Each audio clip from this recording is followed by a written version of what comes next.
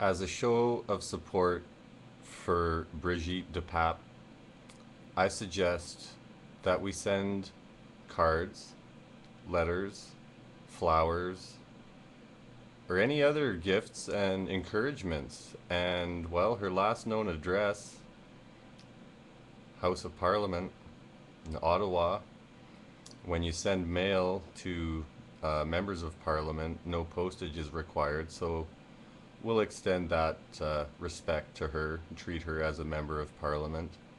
I'll include the address. Um, yeah, even put rogue page on it. Send mail to the rogue page if they receive, uh, you know, a pile of mail in support for her, postcards, things that are obviously, um, you know, in support. They might notice. They might get the message. We should uh, extend her protest as much as we can.